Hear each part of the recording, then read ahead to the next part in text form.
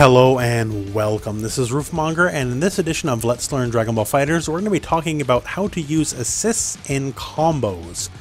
So this has actually been a heavily requested video, and for a while I kind of put it off making it because I'm like, just do the assist and do the combo. What's the problem, you know?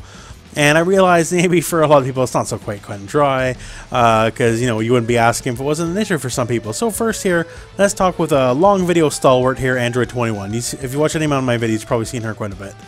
So uh, generally speaking, uh, something like this, like you know, just a very basic combo, and I use the assist, and I basically get the whole thing off again, right? So what makes it easy for her and her specifically, uh, and this won't be every character game, I'm just using her as a base here, is she has her medium airdrop in the air, brings the foe to the ground. So when the foe uh, crashes the ground, what makes it easy for me to time an assist or you know whatever assist it'll be, the key thing is here I'm hitting the ground with you. So yeah, you're hitting the ground, you'll bounce back up, sure, and I hit the ground too, so I know exactly where I am on the screen relative to you. So normally if you're doing like a really big combo in the air, and uh, let's use Vegeta's example here. Like, how on earth will I know when to call Android 16 in this situation for his assist? Uh, I can't see the ground. I, you know, it's very difficult to me to get any sort of bearing. It's just quite difficult overall. Versus Android 21, we hit the ground together, once again. So since we're both on the ground at the same point, then all thing, all of a sudden everything gets a lot easier because, you know, I can see the, the camera switching down with me, then I can just as easily jump up and you know, go with it. Now, not everyone has the style move, as I mentioned before. So Android 16 uh, is another case here where he will have the move.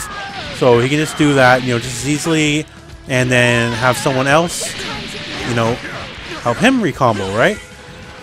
And not every character is going to have it. So off top of my head, I'm just spitballing here. Uh, Vegeta Blue with a dunk. Majin Buu also has something like that. But not every character is going to have that. So let's use Vegeta now as our new base. So in this situation here, Vegeta is more of our everyman. Uh, he doesn't have something like Android 16 or Majin Buu or whatever to bring you back on the ground and recombo. Uh, he doesn't got anything on that. Uh, the only way he's going to bring you back to the ground if you brought you up in the air is uh, smashing down the old-fashioned way. And, you know, that is not easy to recombo off of. Like, we can call our assists here, and, you know, they're just going to miss for the most part unless we have just utterly, you know, minute frame perfect timing. That's no good for nobody. So what we're going to do here is don't wait till the end of the combo. Let's look at something a little more basic. So, you know, a common, uh, you know, starter for Vegeta, uh, for Vegeta, something like that, right? So, before the launch here, let, let's just not do the launch. Let's think of something else. So, let's do something like this.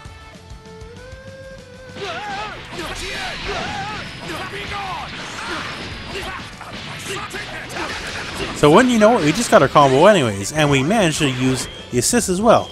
So for characters like Vegeta, and this is going to apply to a lot of characters in the game, what we want to do here is we don't want to do that big launcher at the start. We don't want to send them, you know, a million miles in the air. We want to wait on that for a second. So uh, using Tien, and Tien is one of the better assists for recombos.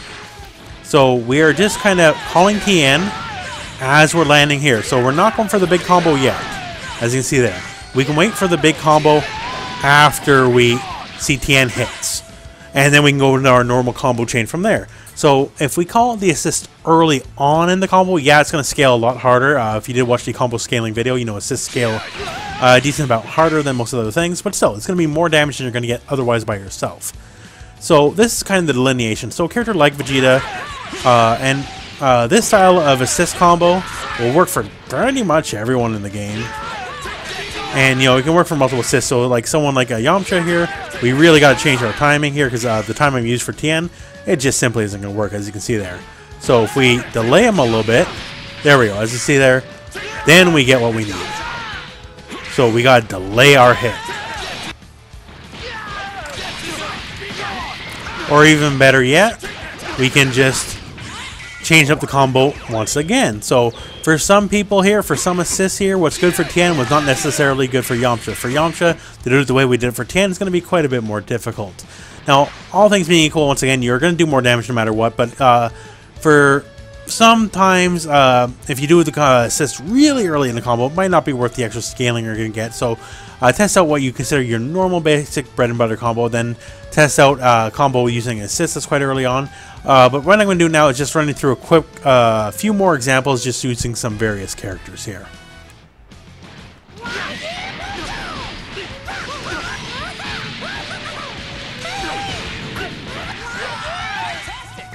So that's another example combo with a move that'll bring you down to the ground.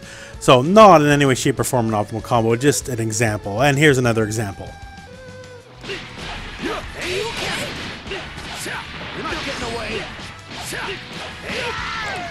So in this example, I use young Gohan to extend adult Gohan's corner combo by just a little bit here. So basically I got an extra set of rep at the beginning I would not normally get if I just went normally into the launch combo into the traditional launcher. So I get to land and add more hits to my combo. So something like this is, once again, uh, as we use Vegeta as our example here, uh, fairly universal for the most part here. So you can just do, you know, uh, sweep launcher into stand medium, jump cancel, and maybe, uh, depending on the character and the assist you have, maybe you have to go right into heavy into assist.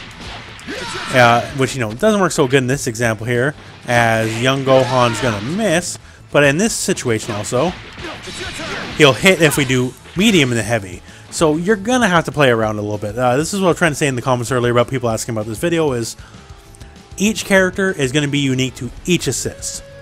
Not every situation is going to work for each character with every single assist. Now, a few assists here, like, you know, the Gokus, uh, Tien, uh, Vegeta, they're pretty much universally useful, and you can figure out just about anything, but I'm going to show you one more example here of tailoring your combo to your assist. Alright, so Android 16, he is my most played character by a lot, so I've learned a lot of permutations of combos with him, and for the most part, my standard bread and butter combo looks something like this. It uh, doesn't matter what I do, whatever into it, but uh, I go into the shoulder charge, and then I do this. And this works on everyone in the game except for Kid Buu and Gotenks because they're little and that's annoying. But besides that, right? So uh, I often team Nappa with Android 16. So if I have Nappa in the back, I have uh, this assist to my name. So I can go something like this. And Nappa lets me combo and whatever have you. And just to show you it's not a corner only thing here. So Nappa easily lets me recombo and I can do that anywhere on the screen and whatever have you, right? It, it just it's not an issue. It's super easy. And now let's try the exact same combo with Cell. Oh, Cell miss. Well, maybe I was just too slow. Let's just think about that, right? Maybe I was too slow. Let's try it a bit quicker. Oh, Cell missed. And long story short, there's no way I get Cell to hit uh, outside the corner. In the corner, yeah, I can get him to hit, but outside the corner, not a chance. It's not going to work. So do I just give up on Cell, or do I try to edit the combo? So I edited the combo, and when you know it, I can get Cell to work. So here's an edited combo. It does slightly less damage, but sometimes you have to make these sacrifices. Uh, but here's the same combo with Cell hitting.